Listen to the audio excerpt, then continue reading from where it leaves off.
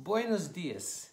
Y como les dije ayer, Kathy y yo vamos a enseñarles cómo recibir la Santa Cena en la casa. Y quiero pedirles perdón que no salí del tiempo a las 7 de la mañana por los problemas técnicos, pero ese ya está arreglado. Pero hoy, la importancia de hacer la Santa Cena. Y Andrés y yo estamos haciendo esto en casa y sentimos fuerte en el espíritu que en este tiempo, la tormenta en la cual estamos, estamos pasando por el otro lado, que vamos a celebrar la Santa Cena en la casa. Cada familia puede hacerlo y nosotros aún vamos a hacerlo cada día. Y en un ratico vamos a explicarte cómo hacerlo y el por qué de hacerlo. Y, y, pero primeramente el chiste. Claro, el chiste. Y, y- y ella no ha escuchado el chiste. Bueno, hay un novio ah, llevando su novia después de una cita a la puerta de su casa. Y ella cierra los ojos esperando un besito. Tiene los labios así como un venezolano. y, y, y ella cierra los ojos y él lo besa en la frente y dice buenas noches. Y ella le dice, poquito más bajito, por favor. y él dice, ok, buenas noches. ok, No, poquito más bajito. ok. Está bien. Ahora, entonces, ¿por qué la Santa Cena es tan poderosa? Es que vea, la Santa Cena era para celebrar y recordar lo que Dios había hecho cuando los israelitas salieron de Egipto. Ah, Como un ángel de muerte pasó encima de las casas y mató cada primogénito. Pero los que aplicaron la sangre de cordero en las puertas, en las ventanas, no fueron tocados. Es decir, la maldición pasó encima. Pascua significa eso, pasar encima. Y la Santa Cena era para recordar lo que Dios había hecho. Y estamos para entrar a Pascua.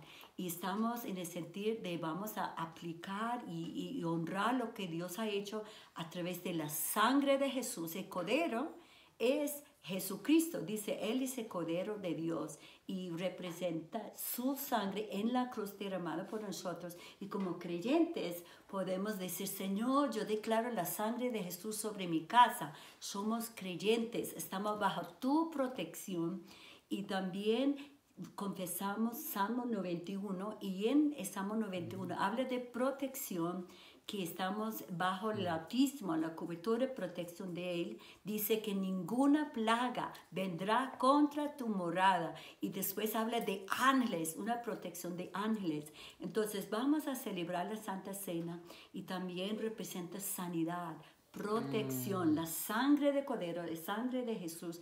Y el pan representa el cuerpo de Jesús, pero también somos el cuerpo de Cristo como comunidad cristiana de fe, como creyentes. Y sentimos fuerte en nuestro espíritu que es algo que vamos a hacer como creyentes y vamos a aplicar la sangre de Jesús sobre la casa.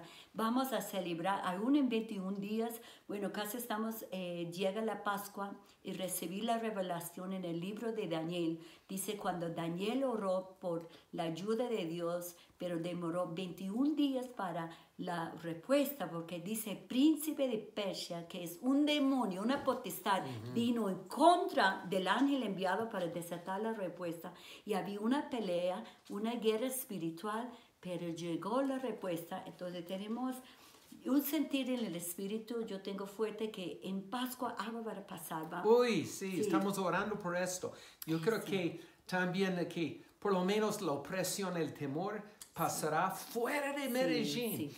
Y, no y yo, te tocará. y yo estaba orando por varios pastores y con Pastor Wangi en el teléfono ayer orando. Señor, tenemos autoridad para decretar que este plaga, este virus no tocará ninguna persona en la comunidad cristiana de fe.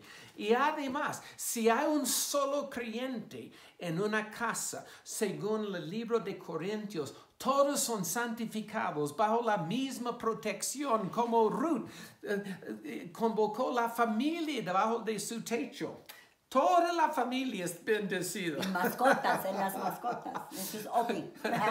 Ok, ahora, ahora voy a enseñarles según Lucas capítulo 22. Abre la Biblia a Lucas 22 y quieres tomar notas porque en menos que cinco minutos pueden administrar la Santa Cena en la casa. Uh, Lucas 22, versículo um, 15 en adelante, tal vez dice, pero yo no soy un sacerdote. Así eres creyente, eres, según Apocalipsis 1, 5, según 1 de Pedro 2, 8, somos el sacerdocio real. Y, y si eres un padre, que nunca ha orado al frente de la familia. Es la oportunidad que las palabras sean, y vamos a enseñarles, unas pocas palabras serán como moneda de oro en el corazón de la familia. Y ojo, si es un padre que ora mucho, porfa, haga la oración más, más corta. Comienza a orar por todos los departamentos en Colombia y comienza a orar por todos los departamentos en Venezuela. Y los hijos dicen, no pasa la frontera. Ok, pero si eres madre soltera, Hombre, también. Fuerte, valiente. Mujeres tienen poder. Madres de hogar, tú tienes poder y autoridad sobre tu casa para activar esta bendición a cualquier mujer. Entonces puede ser como um, jugo de mora o así, si, si solo por este tiempo tienes jugo de naranja, um, pon las gafas rosadas, pero lo importante es lo que representa. Ok, ya tenemos un poquito de pan, no tiene que ser tanto. Lo que sea, Y puede ser varias copas o como quieres hacerlo. Y ahora, gracias, mija. Vamos a leer Lucas 22, um, 14 en adelante. Cuando era la hora, se sentó a la mesa y con él los apóstoles. Y él, Jesús, les dijo, cuánto he deseado comer con vosotros este Pascua antes que parezca. Sí, sí, tú puedes tomar notas. Número uno, Lucas 22, 15. Y tú debes expresar tu amor y deseo de tomar esta santa cena con tu familia. Y puedes decir, mira, Jesús murió por nosotros para darnos la vida. Y quiero decirles que yo les amo tanto, que yo estoy dispuesto de dar mi vida para servirles, para bendecirles. Y solo una expresión así, yo les amo. ¡Uy, qué poder! ¡Qué poder! Y después, el segundo paso, solo hay tres. En versículo 19 dice, y tomó, tomó pan, y puedes tomar el pan o lo que sea, y dio gracias, gracias Jesús, y lo partió.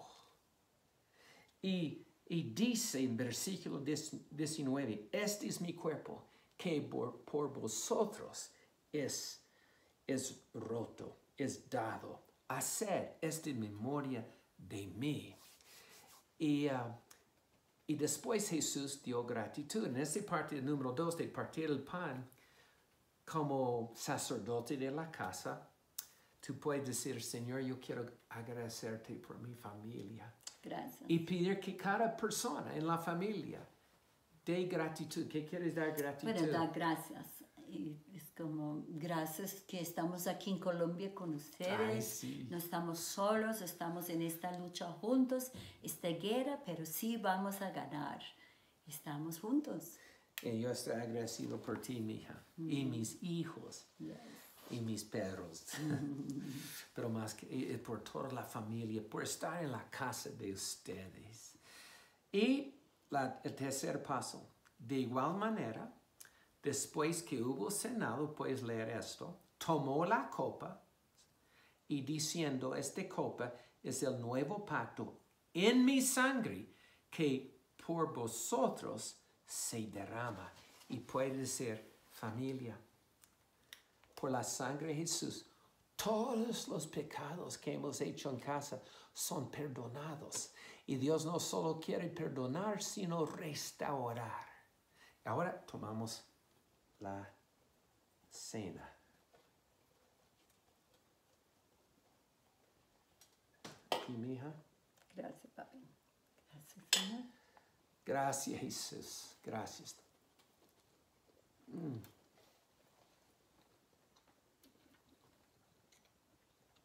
Y mientras que estés mastigando, mira la gente. Y puedes tomarlo individualmente, no tienes que compartir la misma copa tampoco. Ahora, gracias, Señor. Tú Sí, puedes um, dirigir la oración. Voy a pedir que Kathy lo haga. Una oración de gratitud, perdón y restauración. Adelante. Padre, te damos gracias, Señor, por la sangre derramada por nosotros que te activa protección, sanidad, restauración del hogar, de la familia, Señor, de todas las cosas y protección de toda enfermedad, la coronavirus, no nos tocará, no nos tocará, como tu palabra dice, ninguna plaga tocará a nuestra morada, a nuestra casa. Gracias, Señor, por el pan. Tu cuerpo sufrió para que no tengamos que sufrir. Que dice, por tus llagas fuimos sanos, Señor. Recibimos, activamos esta sanidad y te damos gracias, Señor, por la paz sobrenatural que nos da y por los ángeles que están rodeando nuestras casas. Wow. Porque tu palabra dice, el ángel del Señor encampa alrededor de los que te temen. Te tememos, te honramos, Wow. te damos gracias, Señor, por provisión sobrenatural, protección, gozo y paz en este tiempo. Y declaro que Medellín sea faro, faro para las naciones que van a ver qué pasó en Medellín, Casi- ¿Qué, por qué no hay tantos casos, qué pasó. Y Señor, celebramos lo que tú Amén. hiciste y lo que estás haciendo en nosotros y en nuestros amigos y Amén. familias de la fe. Les amo, les bendecimos. En el nombre de Jesús. Bueno, espero que disfruten las reuniones online hoy por la comunidad, por la casa nuestra. Les amamos y nos vemos mañana.